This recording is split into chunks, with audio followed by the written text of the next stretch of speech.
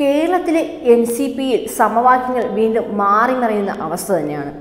സംസ്ഥാനത്ത് ഒഴിവുള്ള P S C അംഗങ്ങളുടെ പട്ടികയിൽ N C P nominate party അധ്യക്ഷൻ പി സി ചാക്കോ നിശ്ചയിച്ച കഴക്കൂട്ടം സ്വദേശിനിയുടെ പേര് വനം മന്ത്രി ശശീന്ദ്രനെ അനുകൂലിക്കുന്നവർ വെട്ടിയതാണ് പുതിയ ചർച്ചകളിലേക്ക് കാര്യങ്ങൾ എത്തിക്കുന്നത്. പാർട്ടി യോഗത്തിൽ വിഷയം അവതരിപ്പിച്ചപ്പോൾ തന്നെ ചിലർ അത് തുറന്നടിക്കുകയും ചെയ്തു. പി എസ് സി ഭരണഘടനാ സ്ഥാപനമാണെന്നും സ്ഥാപനത്തിന്റെ അന്തസ് ഇടിക്കുന്ന ആരെയും പരിഗണിക്കരുത് എന്നും ആവശ്യങ്ങൾ ഉയർന്നിരുന്നു. പാർട്ടിയുടെ വനിതാ വിഭാഗം നേതാവിന്റെ പ്രത്യേക താല്പര്യത്തിലും ഒരു പ്രമുഖ വാർത്താ ചാനലിന്റെ മിഡിൽ ഈസ്റ്റ് മുൻ ലേഖകന്റെ ശുപാർശയിലുമാണ് വിവാദ പേര് ശുപാർശയ്ക്കായി എത്തിയത്. ചാക്കോയുടെ സഹായി ഒപ്പമുള്ള ഇയാൾ പല വിഷയങ്ങളിലും ഇടനിലക്കാരനായി പ്രവർത്തിക്കുന്നുവെന്നാണ് ശശീന്ദ്ര അനുകൂലികളുടെ പ്രധാനമായിട്ടുള്ള ആക്ഷേപം. പാർട്ടിക്ക് രണ്ട് എം എൽ എമാരാണുള്ളത്. ശശീന്ദ്രനും കുട്ടനാട്ടെ തോമസ് കെ തോമസും. തോമസ് ചാണ്ടിയുടെ സഹോദരനായ തോമസ് കെ തോമസിനെ വെട്ടി ശശീന്ദ്രൻ മന്ത്രിയായതാണ് പി സി ചാക്കോയുടെ പിന്തുണയിലാണ്. പീതാംബരൻ മാസ്റ്ററുടെ അതൃപ്തി ഇക്കാര്യത്തിൽ ആരും പരിഗണിച്ചതുമില്ല.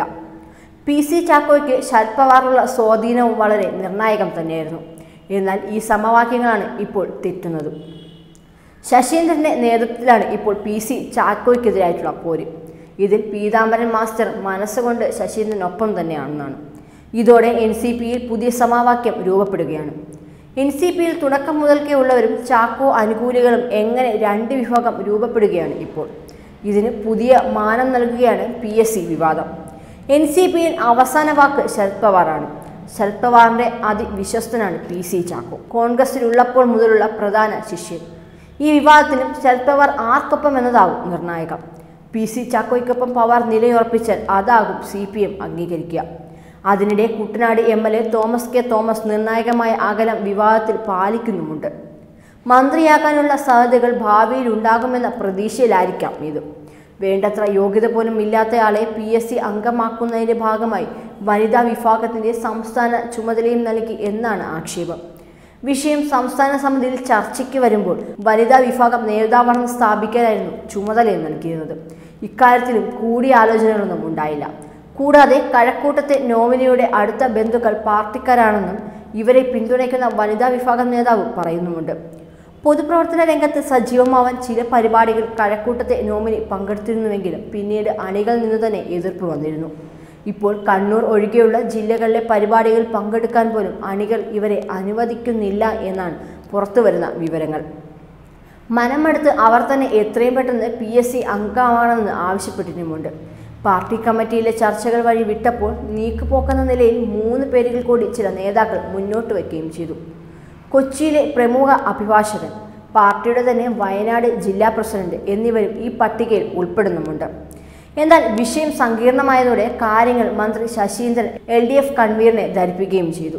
ഇതിനിടയിൽ ചാക്കോ പലവട്ടം എൽ ഡി എഫ് കൺവീനറെയും സി പി എം സംസ്ഥാന സെക്രട്ടറിയും കണ്ടിരുന്നുവെങ്കിലും ഈ വിഷയത്തിൽ ചാക്കോയ്ക്ക് മുന്നിൽ വാതിലുകൾ കൊട്ടിയടക്കപ്പെടുകയായിരുന്നു മുൻ മാധ്യമപ്രവർത്തകൻ പാർട്ടിയെ ഹൈജാക്ക് ചെയ്തിരിക്കുകയാണ് എന്ന് ചില നേതാക്കളും ആരോപിക്കുന്നു. അദ്ദേഹത്തെ മന്ത്രി ഓഫീസിൽ നിയമിച്ചതിനെതിരെയും ചില നേതാക്കൾ രംഗത്തുമുണ്ട്. ചാക്കയോടൊപ്പം ജോലി ചെയ്യുന്ന ഇദ്ദേഹത്തെ മന്ത്രി ശശീന്ദ്രന്റെ സ്റ്റാഫിൽ ഉൾപ്പെടുത്തിയതും വിമർശനത്തിന് ഇടവച്ചിട്ടുണ്ട്. എന്നാൽ പാർട്ടിയുടെ സംസ്ഥാന സെക്രട്ടറിമാരിൽ ഒരാളെയാണ് മന്ത്രി ഓഫീസിൽ നിയമിച്ചതെന്നും ഇതിൽ വിവാദത്തിന് കാര്യമില്ല എന്നും ചാക്കോയെ അനുകൂലിക്കുന്നവർ പറയുകയും ചെയ്തിരുന്നു. ഇപ്പോൾ വിവാദത്തിൽപ്പെട്ട മുൻ ചാനൽ റിപ്പോർട്ടർക്ക് പാർട്ടിയിലും ചുമതല നൽകിയിട്ടുണ്ട്. പി സി ചാക്കോ തന്നെ ഇദ്ദേഹത്തെ പാർട്ടി സെക്രട്ടറിയെ നിയമിക്കുകയായിരുന്നു. ഇയാൾ മൂന്ന് മാസം മുമ്പ് പാർട്ടി പ്രവർത്തകനെ ഭീഷണിപ്പെടുത്തുന്ന ശബ്ദരേഖ പുറത്തു വന്നിരുന്നു പാർട്ടിയിൽ ഭിന്നത തുടങ്ങുന്നത് പി സി ചാക്കോ പ്രസിഡന്റ് ആയതിനു ശേഷം ജില്ലാ പ്രസിഡന്റുമാരെ മാറ്റിയത് മുതൽക്കാണെന്നുള്ള റിപ്പോർട്ടുകളും പുറത്തു വരുന്നുണ്ട്. ഏകാധിപതിയെ പോലെ പെരുമാറുന്നുവെന്നും മുതിർന്ന നേതാവും മുൻ അധ്യക്ഷനുമായിട്ടുള്ള ടി പി പീതാംബരനെയും മന്ത്രി എ കെ ശശീന്ദ്രനെയും വകവയ്ക്കാതെയാണ് ചാക്കോയുടെ തീരുമാനങ്ങളെന്നും ശശീന്ദ്രപക്ഷം ആരോപിക്കുന്നുമുണ്ട്. ഇതിനിടെയാണ് പാർട്ടി പ്രവർത്തകനായ ബേബിയെ ചാക്കോയുടെ വിശ്വസ്തനായ മുൻ മാധ്യമപ്രവർത്തകൻ ഭീഷണിപ്പെടുത്തുന്ന ശബ്ദരേഖ പുറത്തു വന്നത് കോൺഗ്രസ് വിട്ടു വരുമ്പോൾ ചാക്കോയ്ക്കൊപ്പം നിരവധി പേർ എത്തുമെന്ന് പറഞ്ഞിരുന്നെങ്കിലും പറയത്തക്ക ഒഴുക്കുമൊന്നും ഉണ്ടായിരുന്നില്ല.